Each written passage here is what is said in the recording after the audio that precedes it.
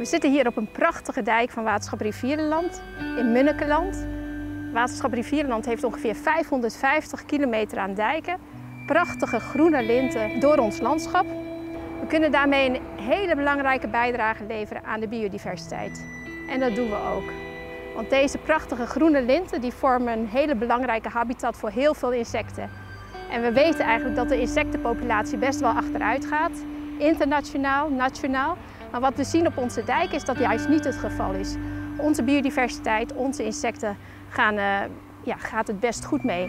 Het investeren in biodiversiteit is natuurlijk heel erg belangrijk. Maar daarnaast zijn deze bloemrijke dijken natuurlijk ook een lust voor het oog.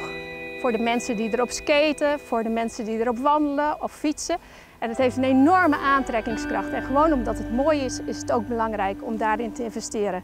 En een derde belangrijke reden, en dat is eigenlijk voor mij wel een van de belangrijkste redenen, is dat deze biodiversiteit ook echt bijdraagt aan de stabiliteit, de sterkte van de dijk.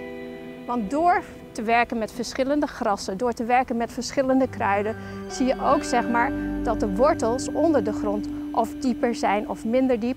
En dat zorgt ervoor dat het gras veel sterker wordt en daarmee ook de dijk veel sterker wordt. Dat zijn drie hele belangrijke redenen waarom wij als waterschap investeren in biodiversiteit en daar maken we dan ook graag werk van.